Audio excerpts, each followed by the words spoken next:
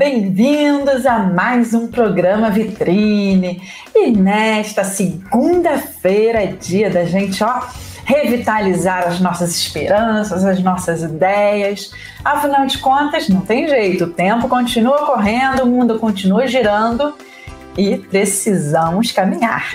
E hoje, para começar aqui o nosso programa, eu trouxe uma mensagenzinha linda, aqui pequenininha para ler para vocês. Quem sabe a gente vai é, distribuindo boas mensagens, boas reflexões. Vamos usando aí o nosso programa Vitrine para trazer coisas boas, positivas, coisas que realmente agreguem valores.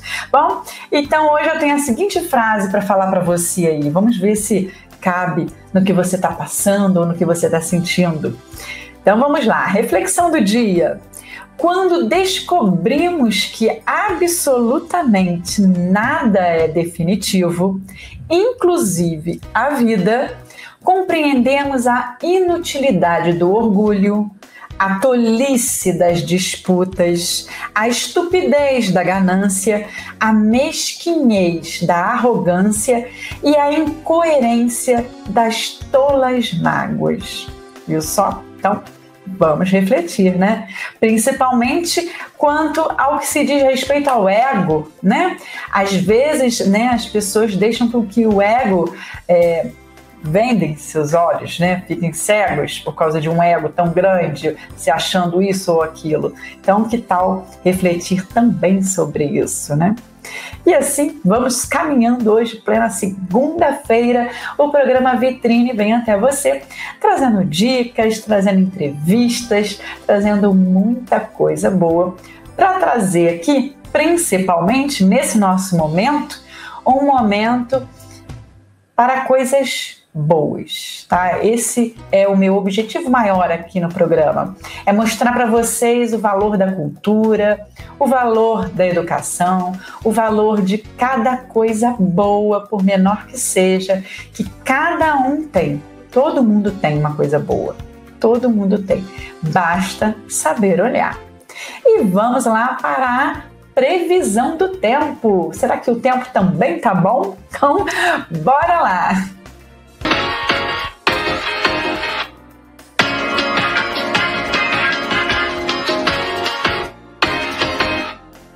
E hoje, segunda-feira, dia da preguiça? Não pode, gente, nada de preguiça. Dia 31 de maio, último dia do mês. Olha, já tá quase aí no meio, né? Meio do ano. Junho já é meio do ano. Olha como é que tá passando rápido. Então, dia 31 de maio, segunda-feira, em Teresópolis, a mínima de 13 graus e a máxima de 22 graus sol com muitas nuvens durante o dia e períodos de nublado com chuva a qualquer hora. E vamos entrar aí o mês de junho já com aquela chuvinha característica desse tempo, né? E amanhã, terça-feira, o que que tem? Amanhã, terça-feira, dia 1 de junho, muda o mês, muda a arte, muda tudo, né?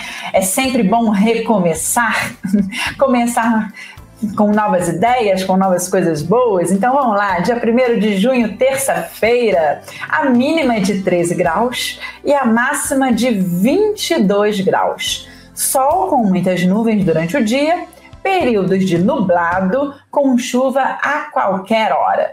Então tá aí a previsão do dia.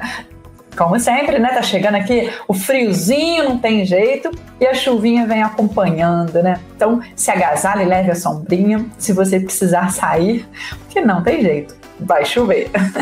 e hoje é dia de quê, né? O que, que se comemora no dia 31 de maio? Vamos dar uma olhadinha? Bom, dia 31 de maio é o dia do comissário de bordo. Isso aí! O Dia Internacional do Comissário de Bordo, também conhecido por comissário de voo, é comemorado todos os anos no dia 31 de maio. E essa data, é claro, tem o objetivo de homenagear os comissários de bordo, também conhecidos por aeromoças e aeromoços responsáveis por tornar as viagens de avião mais agradáveis e confortáveis para todos os passageiros. E olha só, a origem desse dia, né, do comissário de bordo, é uma homenagem à criação da Associação Internacional dos Comissários de Voo, que foi criada em 31 de maio de 1973. Viu só? Então aí, a, essa data também só foi oficializada em 1986. Viu só, gente? Bom, e já que falamos do comissário de bordo, é claro que a gente emenda no dia da aeromoça, que também é hoje. Então, assim como comemoramos o dia né, do comissário de bordo, moça também é comemorado hoje. E pelo mesmo motivo do comissário de bordo, né? Então tinha que aí felicitar os dois, né? As duas profissões. E você? Será que quando você era pequenininho, você sonhou em ser uma aeromoça ou um comissário de bordo? Ou quem sabe um piloto? E aí, quais, são, quais foram os seus sonhos de infância, né? O que, que você queria ser quando crescesse? Bom, hoje também é o Dia Mundial Sem Tabaco. E aí, essa data vale para refletir, né? O Dia Mundial da Luta contra o Tabaco é celebrado dia 31 de maio né? também conhecido como Dia Mundial Sem Tabaco ou Dia contra o Cigarro. E essa data tem o objetivo de alertar os fumadores, né, os fumantes, sobre os perigos do tabagismo e para os benefícios de uma sociedade livre de cigarros. O Dia Mundial contra o Tabaco visa encorajar as pessoas né, a terem um dia inteiro de abstinência total de tabaco no mundo todo. Essa é uma das iniciativas usadas para chamar a atenção da sociedade para os efeitos negativos que o fumo traz para a saúde de todos os seres vivos. Tá bom? E de acordo com os estudos, esse dia foi criado em 1987. E aí, você aí que fuma, será que você consegue ficar um dia inteirinho sem fumar? Tá aí né? Hoje é o dia de refletir e tentar fazer isso. Então, boa sorte para você. Hoje também, né, principalmente para os católicos, é dia do Espírito Santo. Então, o dia do Espírito Santo também é celebrado anualmente e sempre no dia 31 de maio. Bom, ele também, esse dia também é conhecido como Dia do Divino Espírito Santo. E essa data é um culto católico, né, totalmente dedicada ao Espírito Santo de Deus. Tá bom? De acordo com a tradição cristã, essa data é celebrada 50 dias após a Páscoa. Segundo narra o Novo Testamento da Bíblia, foi nesse dia que o Espírito Santo desceu do céu sob a forma de línguas de fogo para os apóstolos de Cristo. Viu só? Então tá aí os dias né, e as datas comemorativas, não só para a reflexão, mas também para você ter né, uma dica, um dia para você pensar sobre comemorar e dar felicitações para aqueles profissionais que a gente falou hoje também, viu só, pessoal? Como tem coisa, né? Bom, e se você ainda não respondeu a enquete, ou se respondeu, acabou o tempo. Como eu falei, iria terminar o tempo hoje, dia 31 de maio, e amanhã, na terça-feira, dia 1 vou dar o resultado da nossa enquete do dia. Então, se você ficou curioso, quer saber quais foram as respostas, basta correr lá no Facebook da Teresópolis TV, acessar lá e procurar né, onde ficou a enquete, o que, que tem, e ainda essa semana já entra nova pergunta, nova enquete para você responder para gente. Então, eu espero você lá. Outra coisa que também vai ter o sorteio e eu vou passar aí nessa semana para você assistir é o sorteio do mês de maio aí. Acabou o mês de maio, hoje dia 31 também é dia do sorteio. Então, vamos ver quem foi, quem foram, né? Ou quem foi os ganha, o ganhador do sorteio desse mês de maio. Viu só? Se você não participou, perdeu a chance, tá bom? Então, bem essa semana a gente vai mostrar aqui o videozinho quem foi que ganhou esses prêmios. E foram lindos, gente. livro do Gustavo Lucena, meu livro também, filmes, reminiscências de Teresópolis, do Léo Bittencourt, bolsinhas lindas feitas pela nossa querida Luciana Barbosa. E em falar em Luciana Barbosa, no próximo bloco tem vídeo com dicas de costura com ela para você ficar aí atento e quem sabe tomar coragem e quem sabe customizar as suas próprias roupas, fazer seus presentes, suas lembrancinhas, entrar aí nesse meio, nessa arte toda que é a costura criativa, por que não? Então, a gente vai para os comerciais e volta rapidinho com dicas, né? Hoje tem receita com a Carol hum, e também dicas aí de costura com a Luciana Barbosa. A gente vai para o comercial e volta rapidinho.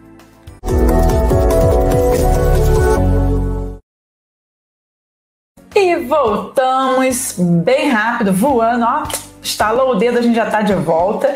E é claro, hoje é dia de receita bem gostosa com a nossa querida Carol, isso mesmo, lá do Mania de Cozinhar. E se você ainda não foi, tem que ir lá no YouTube curtir, tem que ir lá seguir, porque tem muita coisa boa. Um beijo, Carol, para você. E antes da gente entrar com a dica, já vou aqui fazendo o meu jabá da minha amiga Sandra Dias, que está confeccionando esses lindos colares em artes manuais. Gente, é, são lindos, não tem um igual ao outro. Então, essa semana aqui também vou mostrar alguns e você pode encontrar nos fins de semana lá no Shopping do Alto, na loja Chante tá bom? Então tá aí, nosso jabá para minha querida amiga Sandra Dias, que está sempre juntinho com a gente, sempre apoiando em tudo aí um trabalho incrível, maravilhoso e único que você pode ter aí para passear. Gostou do comercial, né? Quer que faça das suas coisas também, da sua empresa? Vem pra cá que a gente faz.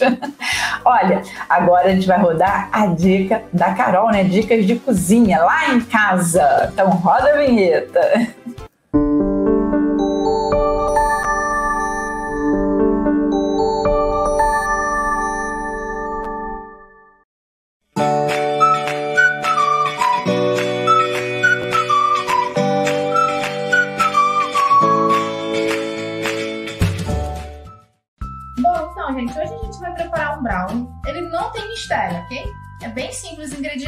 A gente vai utilizar 75 gramas de farinha de trigo, 200 de açúcar refinado, 200 de manteiga sem sal, 4 ovos e 200 gramas de chocolate meio amargo.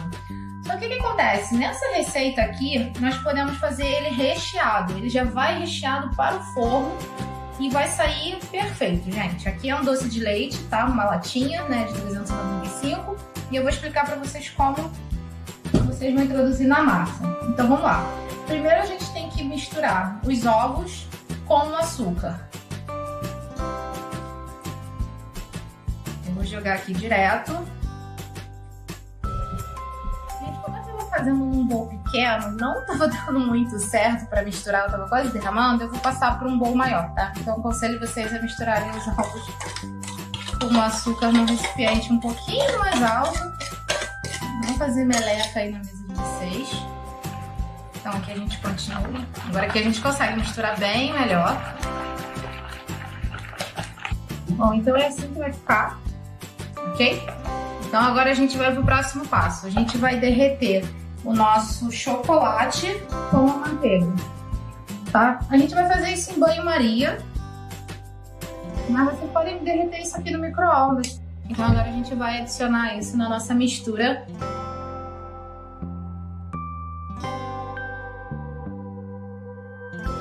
Então agora a gente vai misturar isso aqui bem, até ficar bem homogêneo.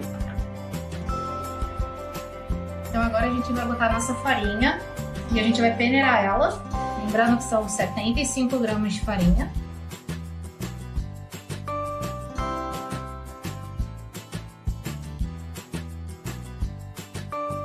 Então, gente, já tá bem misturado. Então agora a gente vai fazer a outra parte, tá? Que é botar na forma. Ela é de 28 por 18 centímetros. Eu coloquei um papel manteiga, tá? E passei bem de leve, não sei se dá pra vocês verem aqui no brilhozinho, mas eu passei bem de leve manteiga aqui no fundo, só pra garantir que não grude nada. Ou se vocês não tiverem papel manteiga, vocês coloquem direto na forma de vocês. Mas não esqueçam de untar bem com manteiga e com chocolate em pó, cacau em pó, o que vocês estiverem usando para a receita de vocês, tá? Fica a critério. Agora a gente vai transferir a nossa massa aqui para a forma.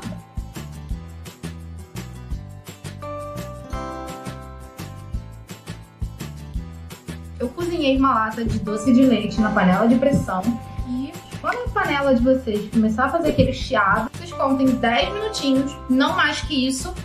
Desliguem o fogo, tá? Vai estar tá perfeito o nosso doce de leite. Bom, então agora a gente vai jogar na nossa massa, tá bom? E agora a gente vai espalhar para poder ficar em todos os cantos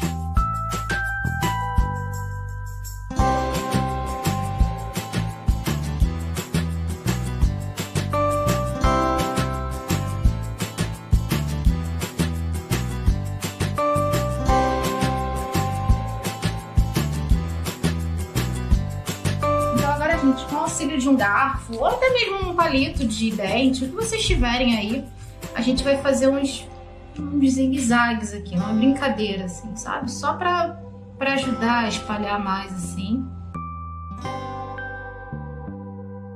Agora a gente vai levar pro nosso forno, tá? Ele tá pré-aquecido a 180 graus. É, já por 10 minutinhos.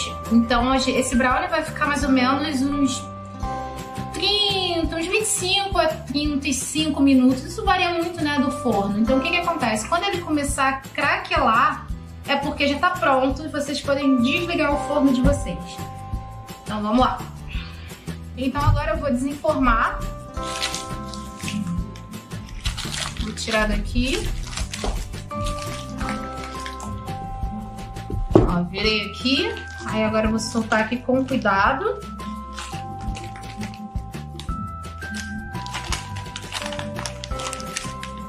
Olha que lindo! Tá aí o nosso brownie, bem craqueladão. E assim com brownie, gente, pra mim, pelo menos, um brownie tem que ser assim.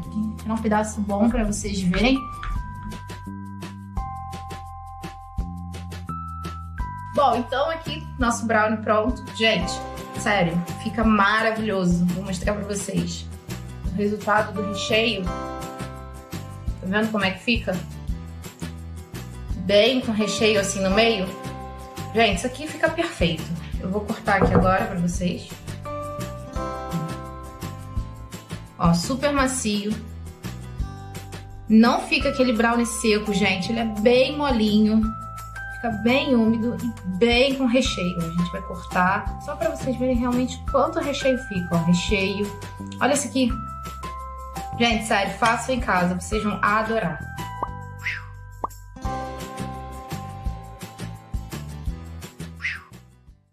Que delícia, gente! Já tô doida para experimentar. E você? Deu água na boca? Hum, chocolate nesse friozinho é tudo de bom. E agora, mais rapidinho, né? Agora, rapidinho, rapidinho, bora pra costura. Isso mesmo, hoje é dia de dicas com Luciana Barbosa. E depois dos comerciais, tem a entrevista do dia.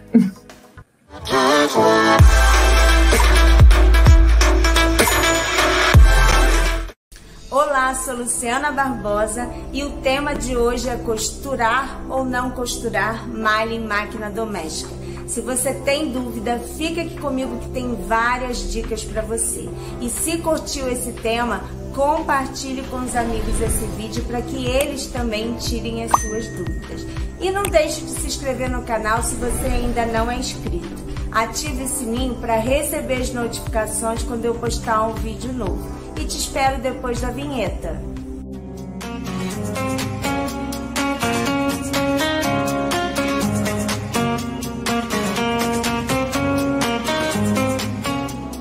Você pode sim costurar malha na sua máquina doméstica, mas leve em consideração qual vai ser a finalidade dessas peças. Você vai vender então você precisa oferecer um produto de qualidade com bom acabamento para o seu cliente, principalmente se você for confeccionar roupas. Você vai precisar investir em máquinas que te proporcionem esse acabamento, como um overlock para o fechamento das suas peças, ou uma colarete, conhecida também como galoneira, para o acabamento de bainha, colocação de viés e alguns detalhes.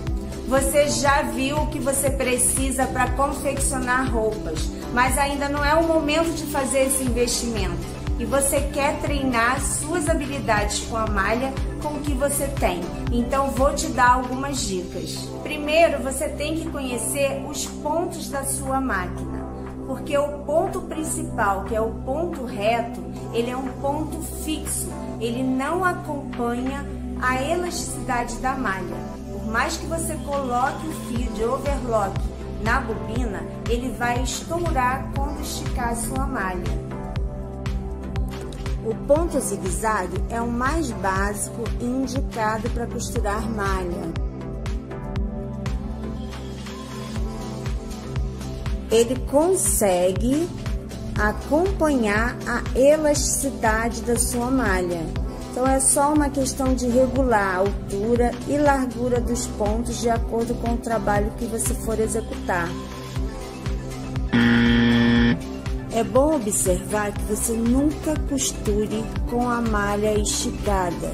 Isso pode danificar a sua peça, principalmente se você estiver costurando roupa.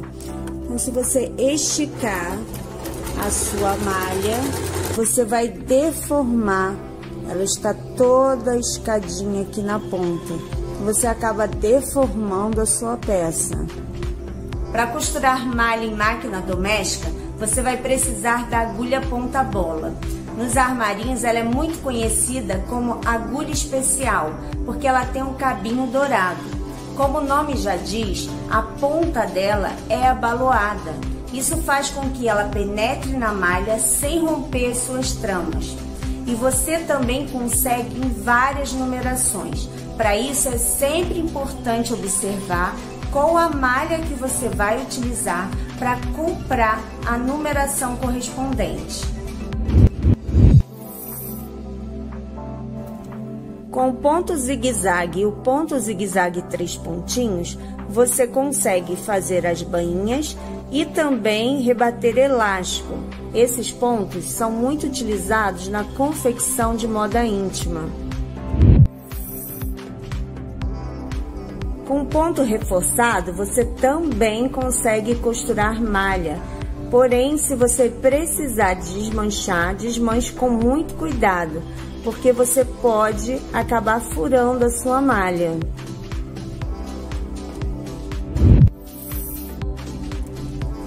Ponto overlock ou outro ponto decorativo flexível, você também pode fazer uma costura bem na borda do tecido, como um chuleio. Isso vai evitar que a malha enrole, vai reforçar a costura e vai dar mais qualidade à sua peça.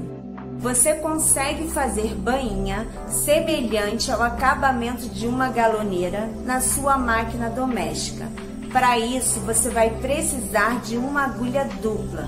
É muito fácil encontrar essa agulha em armarinhos. Pode ser que você encontre com bitolas diferentes, que são a separação de uma agulha a outra. A utilização é muito simples, basta trocar a agulha e na parte superior da máquina colocar duas linhas. Elas vão ser guiadas juntinhas pelo mesmo caminho até que cheguem na agulha. Você vai utilizar o ponto simples, o ponto reto. O comprimento do ponto você vai regular de acordo com a espessura da sua malha.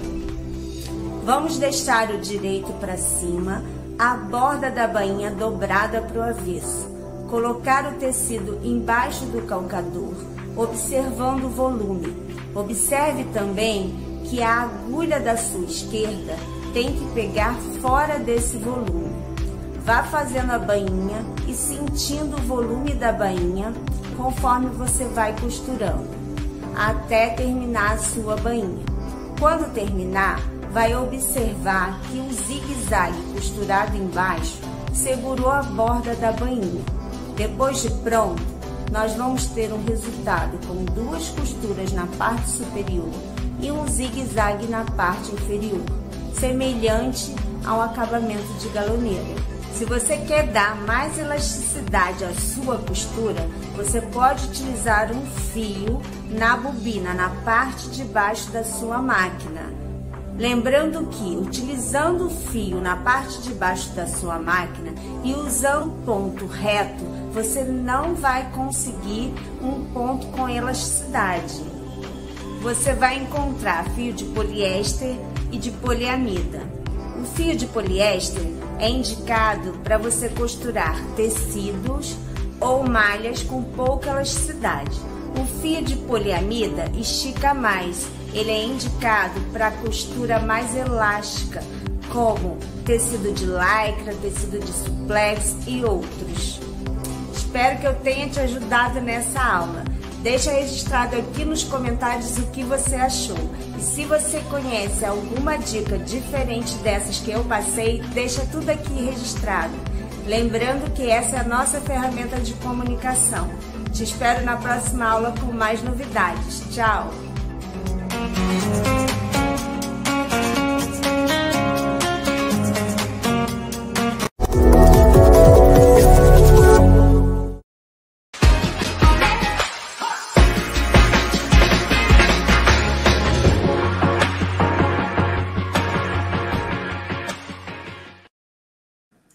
Olá, olá e rapidinho, rapidinho, estamos de volta aqui no programa Vitrine, fazendo companhia para você todos os dias, de meio-dia a uma da tarde.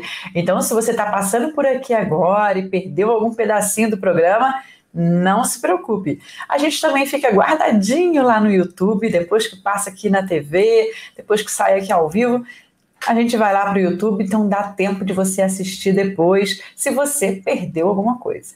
E hoje, né, a gente tem a entrevista do dia com mais uma talentosa escritora Michele Silveira. Vamos conhecer? E dessa vez, gente, é aqui de Teresópolis. Tudo bem, Michele? Tá me ouvindo direitinho? Ouvindo, sim. Boa tarde. Michele. Michele, você mora onde, Michele? Bom, aqui é onde eu moro, costumo chamar de Fazenda Boa Fé. Mas as pessoas, quando você fala Fazenda Boa Fé, não, não ligam muito o nome à pessoa, então eu digo que é Vargem Grande. Nossa, então você mora né, aqui em Teresópolis, para quem não conhece, né, no interior. Gosta de morar aí? É bom? Tá frio? Tá, como é que tá aí a, a situação? Muito frio, bastante gelado. Nossa, mãe, aqui em Teresópolis essa época é muito frio.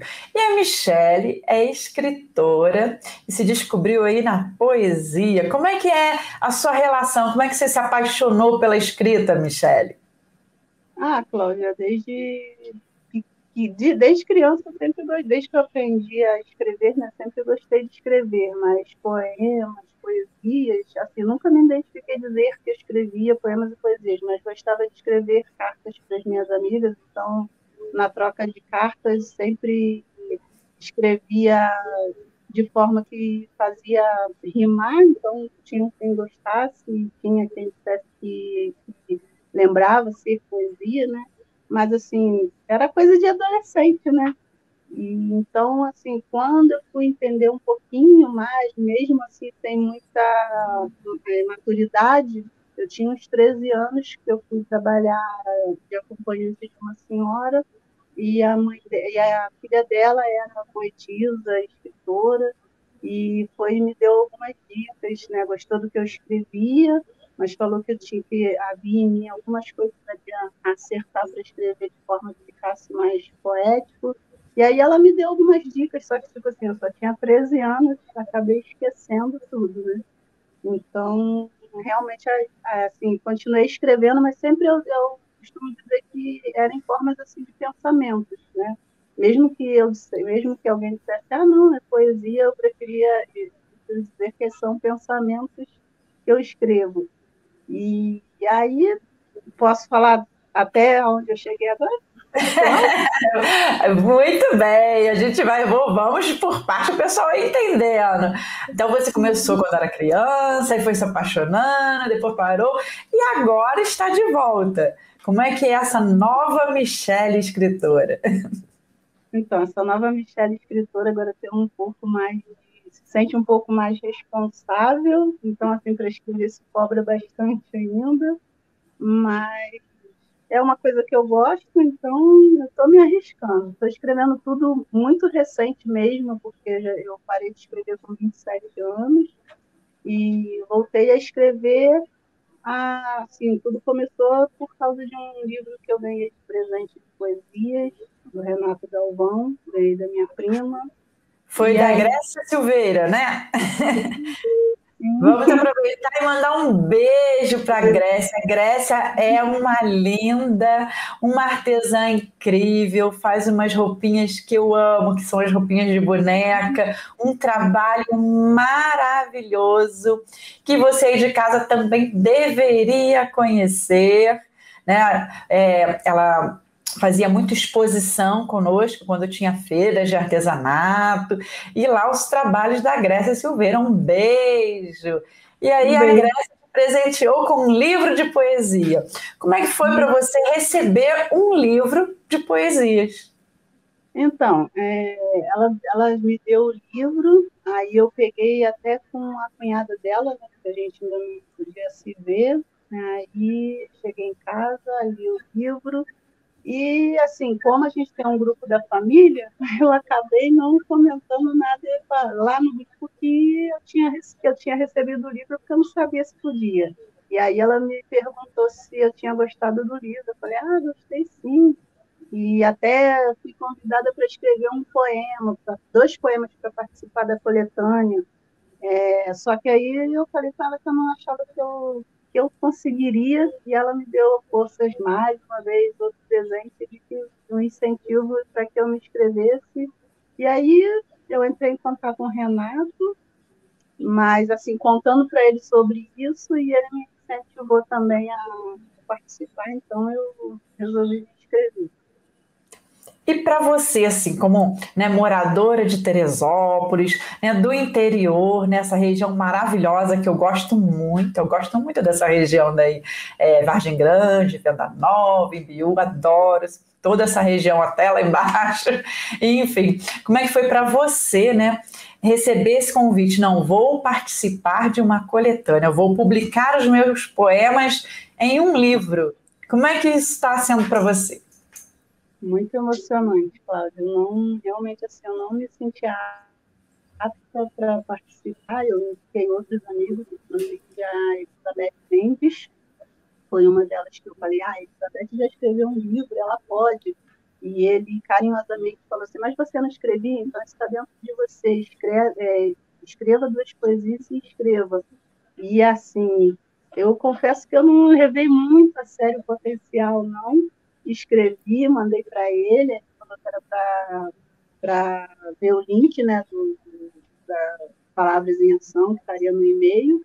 Aí fui, coloquei os poemas, e quando me vi ali participando, fiquei muito emocionada. E ainda estou sobre esse impacto. e você também escreve nas redes sociais, não é? Onde Sim. você usa mais? No Facebook ou no Instagram? É porque o meu Instagram ele é junto com o Facebook. Então, tudo que eu compartilho no Instagram vai para o Facebook. Eu tenho escrito algumas coisas lá para me é, incentivar, para me ficar mais confiante.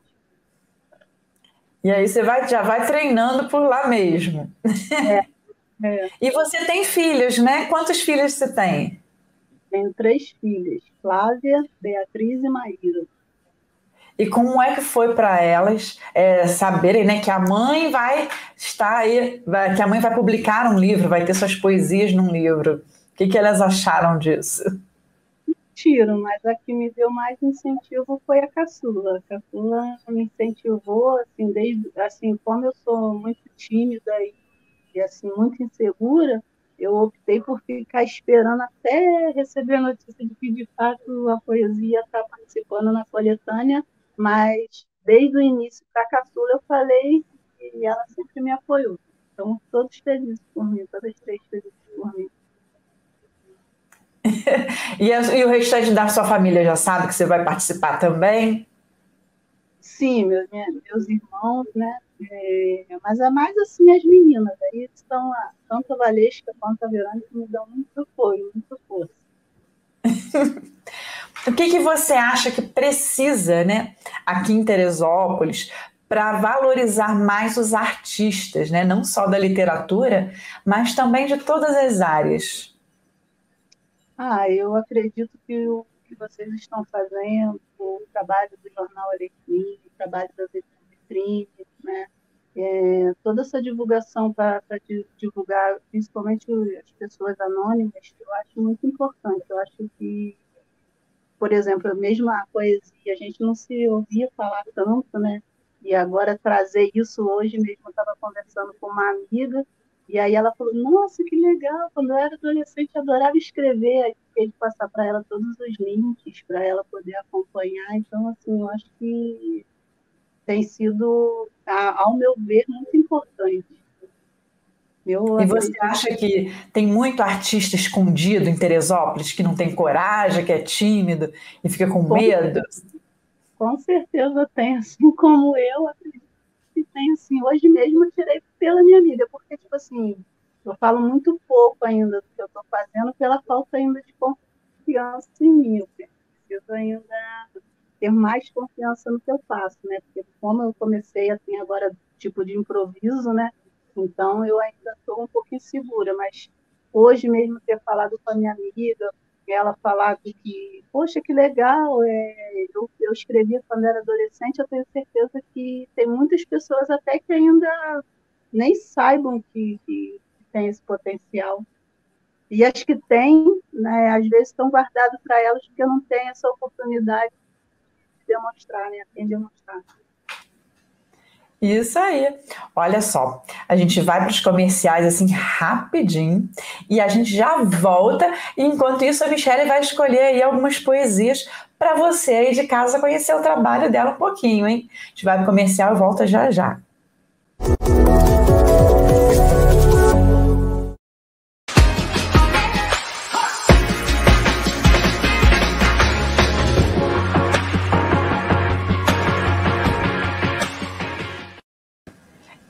Voltamos rapidinho. E para você que está passando por aqui agora, esse é o nosso programa Vitrine, que passa todos os dias de meio-dia a uma da tarde, trazendo para vocês dicas, receitinhas, notícias, previsão do tempo e entrevistas com várias pessoas diferentes. E olha, hoje a gente está aqui por Teresópolis, né? Aqui falando diretamente aí com o pessoal de Vargem Grande, de boa fé. Então, se você é dessa área, manda um oi pra gente lá pelo YouTube, pelas redes. Diz aí se vocês estão gostando, o que vocês querem ver no programa. E hoje a gente está falando sobre literatura, né? Essa campanha que estamos fazendo aqui em Teresópolis para levantar essa bandeira da literatura. E a campanha, a nossa campanha está tão legal que tem gente do Brasil inteiro participando. E olha, já vou adiantando para vocês que já tem gente fora do país também acompanhando a nossa campanha. E isso é muito bom. Michelle, então, a gente está aqui numa coletânea que trata de pessoas assim, de vários lugares. Você já conheceu assim, algumas pessoas da coletânea? Via web, né? o que você está achando dessas novas amizades? Muito legal. É, acho que o, o, mais interessante da poesia é essa união que tem sido feita. Assim, eu sou uma pessoa com muita dificuldade para memorizar nomes, mas eu já fiz algumas amizades. Shirley, por exemplo, é uma delas. E eu esqueci o nome do, do, do outro autor também, até fiquei, ele é o autor do Poeta Aprendiz, se eu não me engano. Ah, o Edilson. É, também é uma, é, qual, qual você acha a importância né, de juntar vários escritores em prol de um movimento, né? O que, que você acha dessa união? Ah, Eu acho muito legal, eu acho muito, muito interessante mesmo, até porque a diversidade, né? Porque, tipo assim, eu fico vendo as pessoas se apresentando, eu fico emocionada com cada uma que eu vejo, e ver essa galera toda junta, assim, a cada live que a gente acompanha, um, um, um prestigiando o outro, eu acho muito, muito legal mesmo. Muito bem. O que que você, sobre o que você escreve nas suas poesias? Vamos falar agora um pouquinho dos seus textos. Sobre o que que você gosta de escrever? Eu gosto de escrever. É, bom, eu, eu gosto de escrever sobre o amor, mas eu procuro, eu escrevo sobre sentimentos. Então, tipo assim, é o que eu estou sentindo naquele momento, eu ponho no papel. Mas eu acredito que, que eu possa dizer que é sobre amor, sim. E você. É, Pode falar. Oi? É mais romântico mesmo. e você escreve, você está falando sobre poesia, você escreve outros tipos de texto sem ser poesia? Ai, como ultimamente eu não estava escrevendo nada, então, tipo assim, eu confesso para você que eu ainda estou um é, escrevendo um pouco assim, embaralhado, eu ainda estou tentando me encontrar nas palavras. Eu, eu costumo dizer que, eu, que as minhas poesias ainda a mim me remete como pensamentos, né? Mas eu estou escrevendo algumas coisas, Cláudia. o que, que você acha que um autor né, precisa ter, uma pessoa precisa ter para escrever? Primeiramente, acho que amor pela escrita, né? É, eu tenho bastante, eu acho que é, o, é um do, do, dos maiores é, do principal para se, se escrever, né? Muito legal. Pode falar. Por exemplo, é, é o amor mesmo, assim, às vezes até relendo algumas coisas eu fico assim é mais empolgada, as outras nem tantos. Eu acredito, eu costumo assim, eu estou escrevendo ainda é, pedacinhos em pedacinhos, mas às vezes eu me alongo bastante. Então, tipo assim, eu estou mesmo me, me redescobrindo. Isso é muito importante, né, gente? Bom, você separou, é, Michelle, você separou poesias aí para ler para gente? Sim, separei. Deixa eu pegar aqui.